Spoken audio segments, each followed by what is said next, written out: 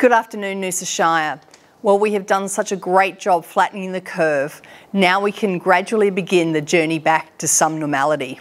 So some of our smaller parks and playgrounds will reopen uh, and hopefully in the weeks to come some of our higher use parks and playgrounds and skate parks will reopen as long as they are COVID safe. We've made the decision to close the NAC indefinitely. Unfortunately, this is due to two reasons. Uh, the first is we just cannot police 10 people going in there at one particular time, and also the costs associated with opening it for such a small number would prove to be an unnecessary burden on ratepayers. We're not, certainly not alone in terms of looking at these restrictions and deciding whether or not it's viable to operate, and a number of other aquatic centres in the region have come to the same conclusion that right now uh, the numbers just simply don't stack up. We'll have a close look at what's possible under stage two. We have some indication now, but not all the details. So we'll need to get some more information, see what's possible with regard to how many people we could have in a pool, what other programs can we run at the same time, what likely patronage is, and make that assessment again in a few weeks' time as to whether or not we believe it's reasonable.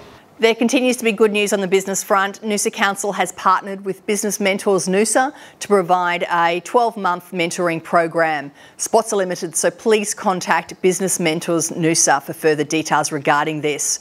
As restrictions ease, please continue to practice social distancing, good hygiene, and stay safe. We are on the road to recovery, but now is certainly not the time to be complacent.